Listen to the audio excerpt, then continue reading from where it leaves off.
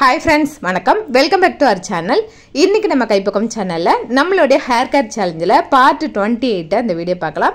இந்த வீடியோ பார்க்கறதுக்கு முன்னாடி புதுசாக பார்க்குற சப்ஸ்கிரைபருக்கு நம்ம வீடியோவில் என்ன பண்ணிட்டு வரோங்கிறது தெரியாது. அதனால அவங்களுக்காக நான் சொல்கிறேன் அதாவது என்னோட ஹேர் கேர் வீடியோஸ் எல்லாமே லாங் வீடியோவாக இப்போ கொடுத்துட்டு வரேன். கொஞ்ச நாளாக வந்து சாங்ஸ் எல்லாமே சமையல் வீடியோவாக கொடுத்துட்டு வரேன்.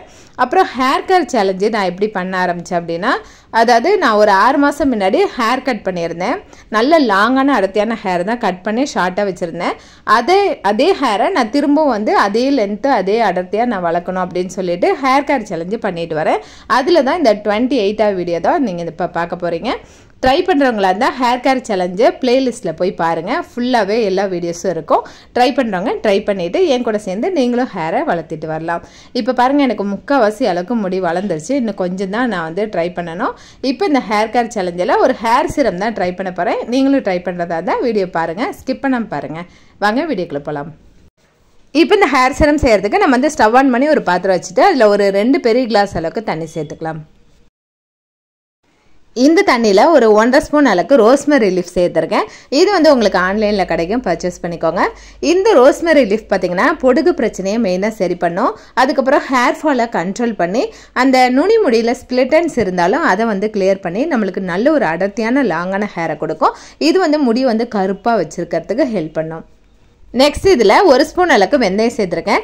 வெந்தயம் நம்ம யூஸ் பண்ணும்போது நல்ல குளிர்ச்சி கொடுக்கும். அதனால் நம்மளுக்கு ஹேர் ஃபாலை ஸ்டாப் பண்ணிடும் இதில் இருக்கிற கசப்பு தன்மை நம்மளுக்கு பொடுகு பிரச்சனையை சரி பண்ணி நல்ல ஒரு ஹேர் அடர்த்தி கொடுக்கறதுக்கு ஹெல்ப் பண்ணும். நல்ல சாஃப்ட் அண்ட் சில்கியான ஹேரையும் கொடுக்கும். இப்போ இது ரெண்டும் ஒரு பத்து நிமிஷத்துக்கு மேலே கொதிச்சு வரட்டும். அதுக்கப்புறம் நம்ம இன்னொரு பொருள் ஒன்று சேர்க்கலாம். இது நல்லா கொதிச்சு இதோட எசன்ஸ்லாம் அந்த தண்ணியில் இறங்கும். அதுக்கு வரைக்கும் நம்ம ரெஸ்ட் விட்டுக்கலாம். இப்போ பாருங்கள் இது நல்ல இந்த அளவுக்கு கொதி வந்ததுக்கப்புறம் இதில் வந்து சங்குப்பூ சேர்த்துருக்கேன். சங்குப்பூ பார்த்தீங்கன்னா ஒரு கைப்பிடி இருக்கிற மாதிரி சேர்த்துக்கோங்க. இல்லைன்னா ஒரு பத்து பதினஞ்சு பூ இருந்தாலும் சேர்த்துக்கலாம். இந்த சங்குப்பூ மெயினாக நம்மளுக்கு வந்து சொட்ட தலையாக இருந்தாலும் முடி வளரும். இதில் உள்ள கசப்பு தன்மை பொடுகு பிரச்சனையை சரி பண்ணும். நல்ல கருப்பான ஒரு ஹேரை கொடுக்கும். நல்ல அடர்த்தியாக நல்ல லாங்காக வளர்கிறதுக்கு இந்த பூ ரொம்பவே ஹெல்ப் பண்ணுது.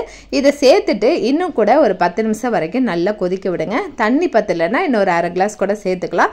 சேர்த்துட்டு நல்லா நல்லா கொதிச்சு இந்த கலர்லாம் ஃபுல்லாக இறங்கினதுக்கப்புறம் ஸ்டவ் ஆஃப் பண்ணிடலாம். இப்போ பாருங்கள் இன்னொரு அரை கிளாஸ் கூட தண்ணி சேர்த்து நல்லா கொதிக்க விட்டுருந்தேன். இந்த எசன்ஸ் எல்லாம் ஃபுல்லாக இறங்கியிருக்கு பாருங்கள் நல்ல டார்க் இங்கு ப்ளூ கலரில் இருக்குது பாருங்கள் இது கொதிச்சதுக்கப்புறம் நம்ம வந்து ஃபில்டரை வச்சு வடிகட்டிட்டேன். இது நல்லா ஆறுனதுக்கப்புறம் இதில் ஒரு ஆயில் ஒன்று சேர்த்துக்கலாம். இப்போ இது நல்லா ஆறி இருக்குது இதில் வந்து பார்த்தீங்கன்னா விட்டமின் இ e கேப்சூல் ரெண்டு எடுத்து சேர்த்துக்கிறேன். இந்த e இ ஆயில் பார்த்தீங்கன்னா நம்மளுக்கு ஹேரை நல்லா அடர்த்தியாக வளர வைக்கிறதுக்கு ஹெல்ப் பண்ணுது. நல்ல ஒரு சில்கியான ஹேரையும் கொடுக்கும். இப்போ இந்த ஆயில் சேர்த்து நல்லா மிக்ஸ் பண்ணதுக்கப்புறம் ஒரு பாட்டிலில் மாற்றிக்கோங்க நான் வந்து ஹேருக்கு அப்ளை பண்ணி காட்டுறேன் பாருங்கள் அதாவது ஹேரில் நான் ஆல்ரெடி கொஞ்சமாக ஆயில் சேர்த்துருக்கேன். ஆயில் அப்ளை பண்ணிவிட்டு சிக்கில் எடுத்து வச்சுருக்கேன். ரூட்லேருந்து ஃபுல் முடி வரைக்கும் இதை அப்ளை பண்ணிவிட்டு ஒரு இருபது நிமிஷத்துக்கு மேலே கூட நீங்கள் இதை வச்சுருக்கலாம். வச்சுருந்துட்டு நீங்கள் வெறும் தண்ணியிலேயே வாஷ் பண்ணிக்கலாம். உங்களுக்கு ஷாம்பு போடணும்னு தோணுச்சுன்னா மைல்டான ஒரு ஷாம்பு போட்டு நீங்கள் ஹேர் வாஷ் பண்ணிக்கோங்க. ஷாம்பு வீடியோ கூட நம்ம சேனலில் கொடுத்துருக்கேன். எண்டு ஸ்க்ரீனில் கொடுக்குறேன். நீங்கள் பார்க்காதவங்க செக் பண்ணிக்கோங்க.